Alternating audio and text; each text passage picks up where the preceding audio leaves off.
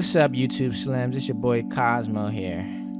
I didn't messed up the first video, so I'm kind of remaking it. And I wanted just to say, I seen you guys saying but, you liked my last video on, you know, the, the controller setup for Arma 3.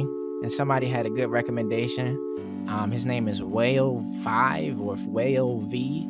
He said to go ahead and do uh, an addition for Arma 3. So, I mean, I'm sorry, not Arma, but DayZ. And so first off, once you start off by going ahead hit that big picture mode, you already know what's up. And I'm gonna just show you how the controller setup is, and we can go over some little bit things about setting it up. So first, of course, go to DayZ, manage game, controller configuration, and I just want to say there's one thing you'll have to change after you get the controller configuration. You'll have to go to your settings on DayZ. go to your controls key bindings, your key key bindings for your, um, you know, your mouse and keyboard. Um, and you want to change the button that is change stance. You want to change to that mouse back button, which is this one. Um, if they're beside each other, it's the one on the back side, not the one that's ahead. So mine's are beside each other, it's the one on the back and not the one ahead. Um, you would just want to go ahead and change that to that one, so that way when you do go prone with the controller, it doesn't, you know, act weird.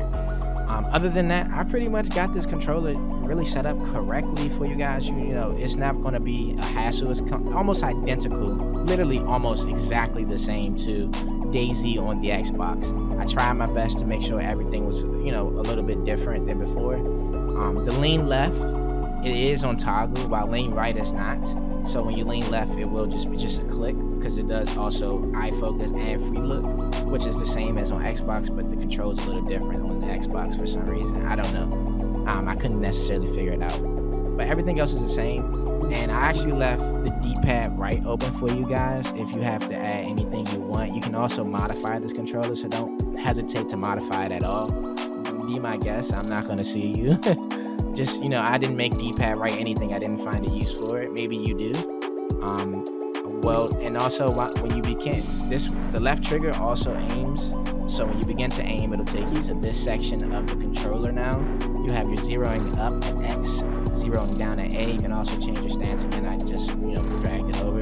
Reload and also take one out the clip. Um, i have to change fire mode here and voice chat.